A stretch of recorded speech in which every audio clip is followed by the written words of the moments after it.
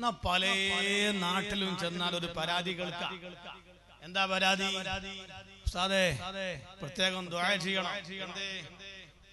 മകന് മദ്രസയിൽ എട്ടാം ക്ലാസ്സിൽ അവർ യാസി നേരം ഓതാ അറിയില്ല.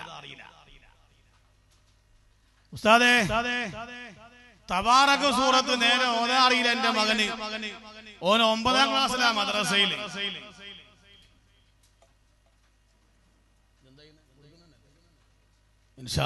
ബക്കറ്റുമായി നമ്മുടെ പ്രവർത്തകന്മാര് വരും. അള്ളാഹു സംഭാവന ചെയ്യുന്നവർക്കെല്ലാം അള്ളാഹു ഹൈറും പറക്കത്തും ഇസ്സത്തും റാഹത്തും അള്ളാഹു എറ്റിക്കൊടുക്കുമാറാകട്ടെ ഞാൻ പ്രസംഗം നീട്ടുന്നില്ല. അവസാനിപ്പിക്കാൻ എവിടെ ചെന്നാലും കേൾക്കുന്ന ഒരു വിഷയമാണ് മക്കൾക്ക് ഓതാൻ അറിയില്ല. യാസിൻ ഓതാൻ അറിയില്ല. എന്തുകൊണ്ടാണ്? എന്തുകൊണ്ടാണ്? ഈ യാസിൻ ഓതാൻ അറിയാതെ പോയത്? ഞാൻ പറയാ ഖുർആാനിനോട് പാലിക്കേണ്ടുന്ന അതബ് സമൂഹത്തിൽ നിന്ന് ഇല്ലാതെ പോയി.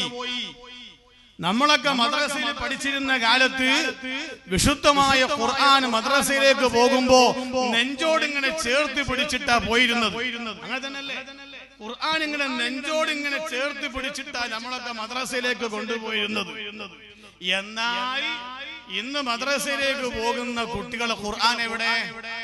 ചന്തിമലി. ബാഗാണ്. ഈ ബാഗിൽ ഖുർആനാണ്.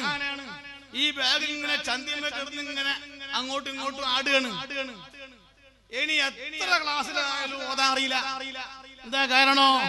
ഖുർആാനിനോടുള്ള അതവ് പാലിച്ചാലേ ഖുർആൻ ഓതാൻ അറിയൂ. കഴിയൂ. അതെങ്ങനെയാണ്. പൈസയോട് ഒരു വസ്തുവിന്റെ അതുകൊണ്ടുള്ള ഉപകാരം ലഭിക്കണമെങ്കിൽ അതിനോടുള്ള അതവ് പാലിക്കണം. പൈസ കൊണ്ടുള്ള ഉപകാരം നമുക്ക് ലഭിക്കണമെങ്കിൽ ആ പണത്തിനോട് അതവുണ്ട്. എന്താ അതവ്? മേശമേൽ അല്ലെങ്കിൽ ബെഡ്റൂമിൽ ഇങ്ങനെ വിതറിക്കിടക്കലല്ല അതവ്. അങ്ങനെ ചില്ലറ പൈസയും ചില്ലറ നോട്ടൊക്കെ ഉണ്ടെങ്കിൽ അതൊക്കെ എടുത്തിട്ട് ഏറ്റവും ചുരുങ്ങിയത് തലയണന്റെ അടിക്ക് വെക്കുക എന്നുള്ളതാണ് പണത്തിനോട് കാണിക്കുന്ന അതവ്. തലയണന്റെ അടി അതൊരു എന്നാലേ പണം കൊണ്ട് കിട്ടുന്ന ഉപകാരം കിട്ടൂ. ഖുർആന് കൊണ്ട് കിട്ടുന്ന ഉപകാരം ലഭിക്കണോ? എന്നാൽ ഖുർആാനിനെ ആദരിക്കണം. യാസീൻ ഓതാൻ അറിയണോ? ഖുർആൻ ആദരിക്കണം. അതിനെ ബഹുമാനിക്കണം. എത്രത്തോളം മഹാന്മാരായ ഉലമാക്കൾ പഠിപ്പിച്ചു? വീട്ടിലാണെങ്കിലും പള്ളിയിലാണെങ്കിലും വിശുദ്ധമായ ഖുർആൻ അടുക്കി വെക്കുമ്പോൾ സൂറത്തുൽ ഫാത്തിഹ മേലെ വരുന്ന നിലക്കും സൂറത്തുൽ നാസ് താഴെ വരുന്ന നിലക്കുമാണ് ഖുർആൻ വെക്കേണ്ടത്. അല്ലാതെ സൂറത്തുൽ ഫാത്തിഹ അടിയിലും സൂറത്തുൽ നാസ് മേലെ വരുന്ന നിലക്കും ഖുർആൻ വെക്കുന്നത് പോലും അതിനോടുള്ള അദബ് കേടാ.